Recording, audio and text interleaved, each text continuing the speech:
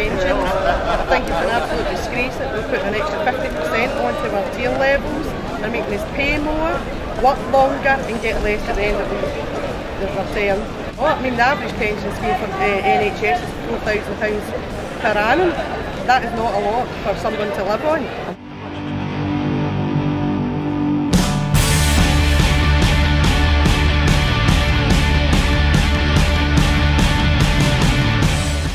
Although this is PCS's demonstration in action, Day of Action tomorrow, this affects every public service worker, in particular female membership.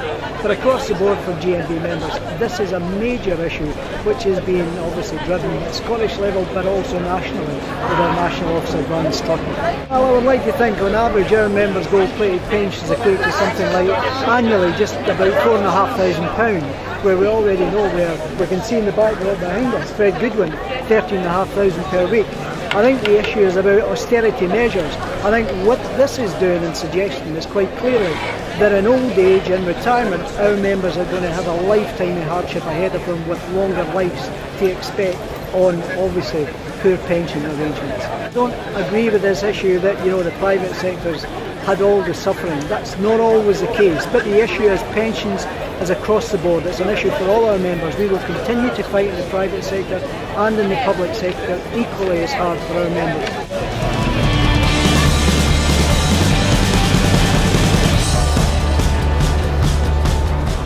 Well, our message is one of support and solidarity uh, to our comrades in PCS and the Teachers Union who are taking this action. Uh, strike action is never uh, you know, a first uh, resort.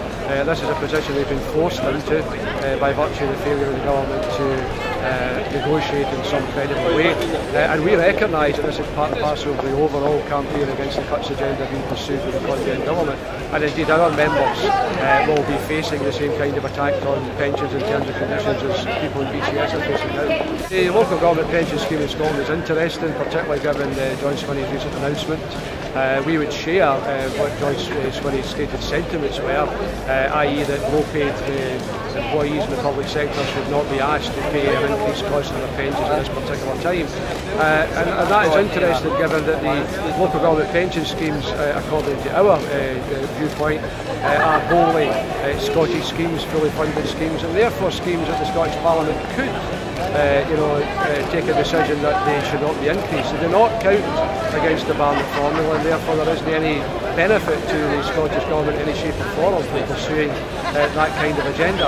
Uh, so we would urge John Swinney to put into practice what his stated sentiments were and that is to say quite clearly that local government workers will not be asked to pay an, an, an increase in cost. Uh, however, I have to say, uh, you know, that if he uh, pursues another agenda, then local government workers, uh, in terms of the Unite, will be asked to ballot on industrial action in that sector as well.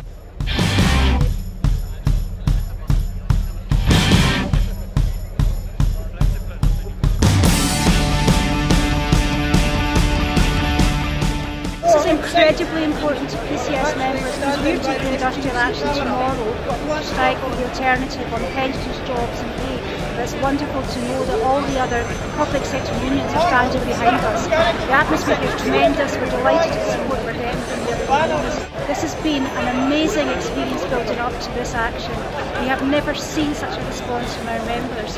We have put a pensions calculator on our website and people are realising that they stand to lose thousands upon thousands of pounds in their pension rights and they are extremely angry and we're going to get a massive turnout in the morning.